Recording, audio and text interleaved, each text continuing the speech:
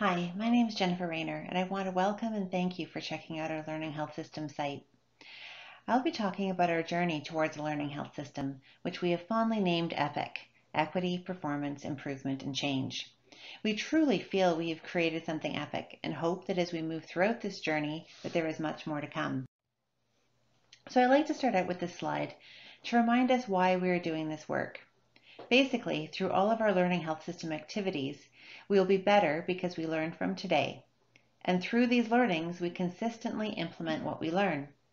But I've added another bullet, one that sometimes at least I take for granted as implicit, but I think it is really important to add so that people understand why we are doing this work. The Alliance members have spent years collecting data, both sociodemographic and race-based data, as well as individual health data, social data, and other sorts of information describing the health care people receive. I don't want to sound too dramatic, but we have a moral imperative to use this data. First, we are spending a lot of time and money collecting it. If we do not use it, there is very little reason to collect this information. But more importantly, this data can provide a window into what is working and with whom it is working, which allows for tailored and improved service delivery, which ultimately will eliminate or reduce health disparities. Our learning health system is driven by our model of health and well-being and an equity approach. This is and will be explicit in the work that we undertake and the outcomes we are trying to shift. Our goal with the learning health system is to champion an, an equitable, inclusive, and respectful primary health care system. We will challenge the status quo with integrity and transparency and will be a catalyst for system innovation. We will embrace community-driven cooperation, participatory research, and will partner to influence ownership of the process, results, and change. We will act from and learn from an anti-oppressive, equity-informed, community-informed, and evidence-informed approach. To guide this work, we've established a set of principles. And these principles really just create a compass for doing the work of the learning health system. So when making decisions about projects or choosing between alternatives, the learning health system will refer to these principles to guide their actions. So all of our work will attempt to be anti-oppressive and culturally safe and will work against the multi-dimensions of racism. The learning health system will engage diverse communities, clients, and providers and use a participatory approach where possible. The learning health system will ensure the model for health and well-being and the equity charter inform and provide direction for which projects and activities will become priorities. We will ensure that an equity lens is applied to analysis and reporting to ensure health inequities are clearly identified. This information will be shared and applied to ultimately reduce disparities. Our goal is to ensure this work is meaningful, pragmatic, and actionable, again, to improve the physical and or social well-being of the people we serve. We have adapted a model for improvement that was originally developed by Dr. Charles Friedman. Our model reflects five aspects of work that continually work together to inform, build knowledge, and improve. Our model includes the role of assembling relevant data, one that Alliance members have done really well. We also have a strong foundation of analysis. But what we want to do with our learning health system is ensure that we actually close the loop on learning and improvement and use this data in a way that informs care. This is done through the provision of tailored feedback and pragmatic and participatory research. But it's important not to stop there. We need to use quality improvement methods and coaching as well as ongoing learning and sharing to ensure that this data and information improves and informs our practice. Our goal is not to just move to collect data, our, our goal is to move the dial on health outcomes and improve service delivery, and we will not accomplish this without deliberate action. So you might be thinking at this point, well, that sounds all fine and good, but what does this really mean? We've operationalized these thinking, this thinking into a work plan that includes all sorts of activities that will move our learning health system forward. But in particular, I'm going to talk about a few specific projects. First off are our communities of practice. We have three planned, and the goals of these communities of practice are really to build a collective impact on shared goals. providers and staff will get together and share best practices, and we'll provide a supportive environment for folks to provide support and mentorship to each other, as well as shared learnings. These will tend to be less data heavy. Our topics for this year include safe supply, social prescribing, and adverse childhood experiences, or ACEs. We also have three learning collaboratives planned. These will be facilitated by a QI coach, and support will be provided by the RDSSs and our Alliance team, as well as you as DMCs and providers and staff from all of the Alliance organizations. We'll be using quality improvement methods and a much more structured uh, learning phases compared to the communities of practice. Specifically, we are working with something called PI, Practice Improvement Essentials, which was developed by the Canadian College of Family Physicians.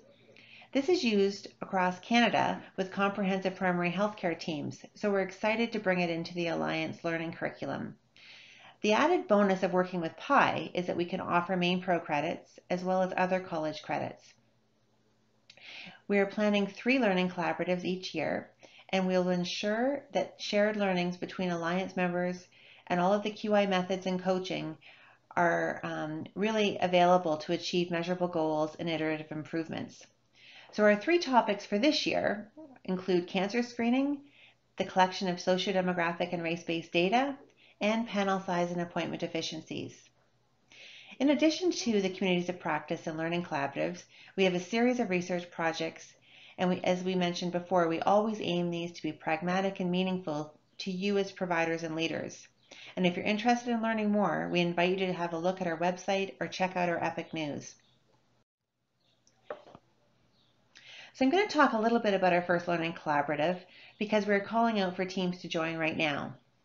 This learning collaborative is focused on catching up on the backlog of cancer screenings caused by COVID-19.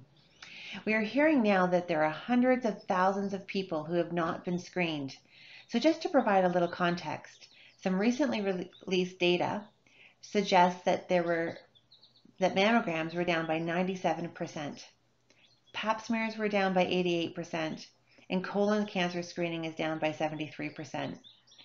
We know that when you apply an equity lens to this data, that there'd be some populations that were even more at risk. This is where our Learning Collaborative hopes to start. We want to kick off our first Learning Collaborative with the goal of reducing our backlog of cancer screening by bringing together 20 to 25 teams and applying QI methods, providing data, and iterative improvements to ensure people who miss their cancer screenings are fully screened. As I said, we'll be applying equity data to all of this data um, and information, and we'll include stratifications to ensure that certain groups of people are not being missed. This will include racialized populations, people living in poverty, or 2S LGBTQ+. Each provider and staff team will be supported to determine what the root causes are for people not coming in for these screenings, and small tests of change will be implemented and continually monitored. We expect innovation and tailored care will be put into place to make sure that all communities are screened, and we intend to continually share these learnings and best practices with others so that we can continue to learn and improve our own service delivery. So if you're interested, please get in touch with us. We're expecting fairly high demand, so let us know if you're interested soon. I'm going to shift direction a bit to the role of learning health systems and integrated care, with, especially within Ontario Health Teams or more broadly within any sort of integrated care system. We know the future of integrated care and OHT specifically are relying on a strong primary care foundation, and we want to support that strong foundation by enabling learning and improvement and ensuring engaged providers, clients, and communities. The learning health system is a key piece in this journey. So to enable this, we have joined forces with six other academic practice-based learning networks in Ontario as the only provincial learning network, EPIC. Our goal is to ensure that primary care research, quality improvement, and learning are enabled to encourage continuous improvement and innovation throughout the province. We are calling this Poplar. The Poplar network will help support primary care generally by using EMR data but is really being seen as a hub to inform OHT learning and innovation. We know that integrated care success will rely on primary care and primary care data, and we are counting on Poplar to help support us with this.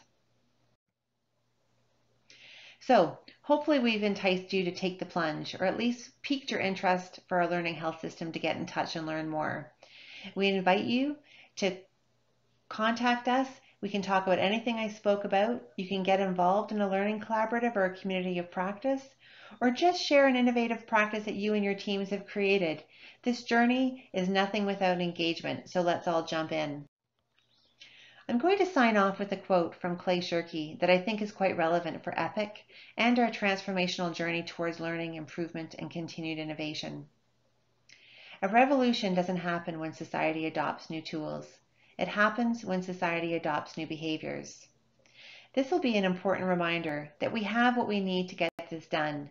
We need to start embracing new behaviors.